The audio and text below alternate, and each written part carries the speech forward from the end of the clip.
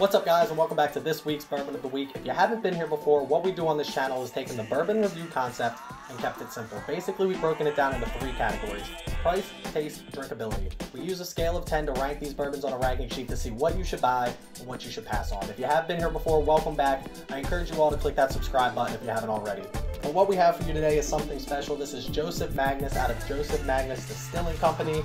This is a source bourbon, so I'm excited to see what they can do with the blending, and that triple cask finish really interests me. So let's get to it.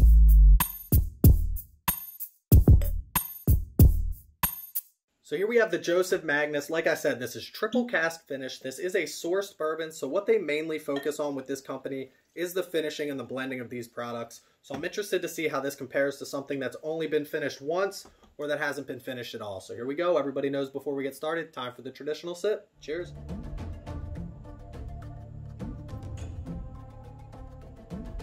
That's not too bad. So this is a 100 proof bourbon. It's non-age stated, but that's kind of weird to me because everything that I've read online says that it's probably in that 12 year range. And if that's true, if this is a 12 year old bourbon, then I don't know why they wouldn't display it proudly on the bottle. Now, it is a source bourbon, so maybe they're blending some stuff that's 12 years, maybe they're blending some newer stuff, and that's how they can keep the cost down, although it's not down that low.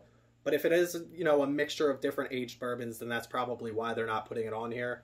It's an undisclosed mash bill, and they don't tell you who they source it from. So everything about this bottle is a mystery, except for the fact that it's triple cask finish. It's done in two sherry and one cognac barrel.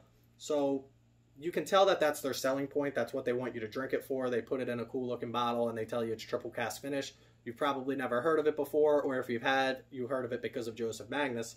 So because they're doing something unique, it's definitely a good selling point for them. But enough about that. Let's get into drinkability on this. This is a 100 proof bourbon and it sips very good. With that undisclosed mash bill, I don't think it's a high rye. I almost, it sips like a wheated, but it does have a little bit of a rye kick to it. So let's take one last sip and let's figure this out.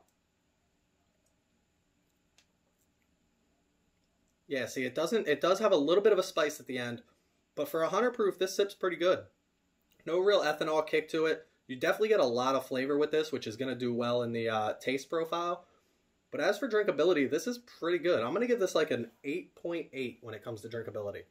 So getting into taste on this, that's where this thing is, I don't want to say it shines, but it's definitely flavorful. When you finish something in a different barrel, you're trying to pull out different flavors. A lot of time you'll see like a port wine or a sherry wine finish, and they're trying to pull out those flavors from that wine barrel. So being in two different sherry casks and then the cognac cask, they're definitely trying to pull out flavors. And you'd almost think this would be an experiment that wouldn't work, but I got to be honest with you, it works pretty well. It definitely gets rid of a little bit of that ethanol kick.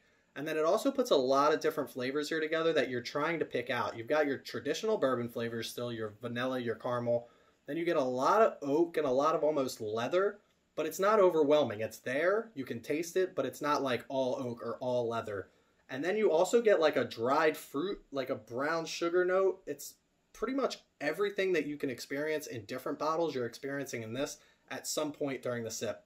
The only knock that I'll have on this is it's very short and it's very dry. I don't like a dry finish. It almost feels like your mouth's dry after you take a sip or two of it. So you're going to drink a lot of it. Be careful, it is 100 proof. But I don't hate this flavor profile. It's very complex, it's very different. Every time you sip it, you're getting something new. And every time you sip it, you're not hating it. You like it more and more each time you take another sip. So as for taste on this, it's going to get another pretty good score. I'm going to give it like a, I'm going to give it like an 8.9 when it comes to taste. So getting into price, I actually want to talk to you after this week's Bourbon Bomb of the Week because that's going to factor in what the price is and if it commands that price tag. Let's do this. Cheers.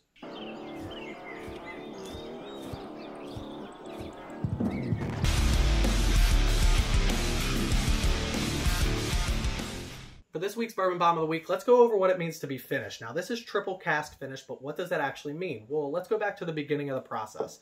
When you first distill whiskey, it comes out of the still known as white dog. This is the clear liquid that you get before it goes into the first barrel. Now, to be considered bourbon, the first barrel that it must go into is New American Charred Oak barrels, and it can go into that for any amount of time.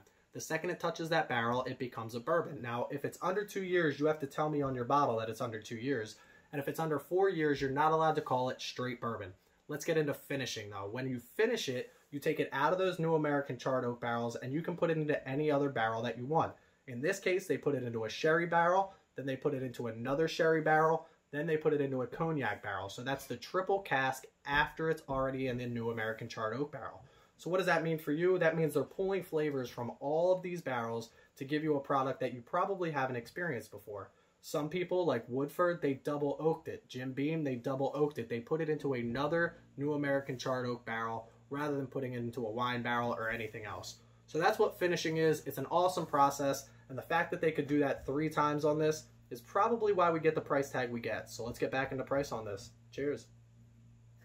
That's going to bring us back into price on this, and the question is, is it worth the price tag? This is a $90 bottle, and after we just discussed the laborious activity of moving it from barrel to barrel to barrel to barrel, and the fact that it's a 12-year-old bourbon, and the fact that it's 100 proof, and the fact that it's sourced, you start to understand why they're charging $90 for it. Now, none of that's your fault. The question is, is the juice inside that worth $90? And I'm on the, this is the high-end side of things for me. I think $90 is a lot to ask for a bottle of bourbon, no matter what kind of experimental thing you're trying to pull off. It's a very good bottle of bourbon, but I wouldn't pay $90 for it, at least not again. I would probably drink it at somebody else's house if they had it there, but I wouldn't put this on my shelves again. And the fact is, it's just, you can buy a lot of bottles of bourbon for $90. You can buy a lot of good bottles of bourbon for $90. So to put that price tag on this, I'm glad I got to experience it but that's where it's going to stay. It's going to stay on the shelf. I'm going to try not to drink it, and I'm going to let my friends try it to have that triple cask experience. And that's all you're really getting here is a, you know, like an experimental type of bourbon.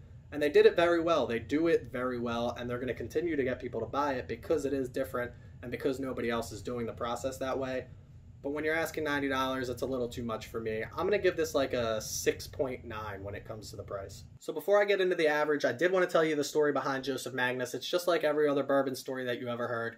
Pre-Prohibition style bourbon got shut down because of Prohibition, and then some great-great-grandson found it under the floorboards, and they had to resurrect the family name and bring it back to us. But this is an experiment that went right. It didn't go wrong. They're doing something right over there. Hopefully they can one day bring that price point down whether they have to stop sourcing it and do it themselves, or maybe even drop the age a little bit on that just so they can drop the price point.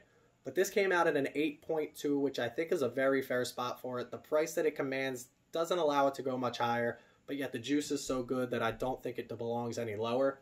But as for this, that's where we're going to leave it. I've also heard that this is a very good bottle to try with a cigar, so I'm going to go try this. This is a Henry Clay 2018. I know nothing about cigars, so if you have any recommendations, please let me know. But in the meantime, guys, make sure you go over and check me out at Bourbon of the Week on Instagram. Every Tuesday at 4 p.m., we drop an image of the bourbon that we're going to review that very next day.